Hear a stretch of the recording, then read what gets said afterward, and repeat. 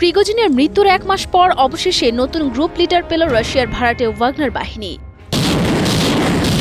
গত উনত্রিশ সেপ্টেম্বর ওয়াগনারের সাবেক শীর্ষ কমান্ডার আন্দ্রেই ট্রোসোভের সঙ্গে বৈঠকের পর তাকে ওয়াগনারের নতুন প্রধান নিয়োগ দিয়েছেন রুশ প্রেসিডেন্ট ভ্লাদিমির পুতিন। ওই বৈঠকে ওয়াগনার বাহিনীকে ইউক্রেনে কীভাবে আরও কার্যকরভাবে ব্যবহার করা যায় সেই পরিকল্পনা করছেন পুতিন। সেই লক্ষ্যেই শুক্রবার ওয়াগনার বাহিনীর অন্যতম সিনিয়র কমান্ডার আন্দ্রেই ট্রোসেফের সাথে বৈঠক করেন তিনি। এ সময় ট্রোসেফকে সম্বোধন করে ইউক্রেন যুদ্ধ নিয়ে পরিকল্পনার কথা জানান পুতিন।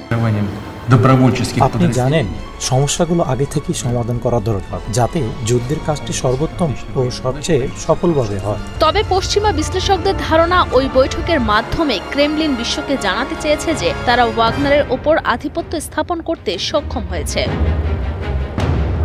এদিকে ইউক্রেনের যুদ্ধক্ষেত্রে রাশিয়ার হয়ে আবারও যুদ্ধ করছে ভাড়াটে বাহিনী ওয়াগনার। দেশটির দনবাসে তাদের যুদ্ধ করতে দেখা যাচ্ছে। গত সাতাশ সেপ্টেম্বর মার্কিন গণমাধ্যম পলিটিকোকে দেওয়া এক সাক্ষাৎকারে এমনটাই জানিয়েছেন ইউক্রেনের শীর্ষ এক সামরিক কর্মকর্তা। উল্লেখ্য, সাবেক ওয়াগনার প্রধান প্রিগোজিন ছিলেন পুতিনের ঘনিষ্ঠজন। ইউক্রেন যুদ্ধ শুরুর পর থেকে দেশটিতে রাশিয়ার হয়ে যুদ্ধ করেছিল ওয়াগনার সেনারা। তবে রুশ সামরিক নেতৃত্বের প্রতি অসন্তোষ ছিল প্রিগোজিনের। এ অসন্তোষের প্রকাশ ঘটে গত তেইশে জুন। বিদ্রোহ করে বসেন প্রিগোজিন। সবশেষ গত আগস্ট মাসে এক বিমান দুর্ঘটনায় মারা যান তিনি। এরপর থেকেই নেতৃত্ব শূন্য ছিল গ্রুপটির।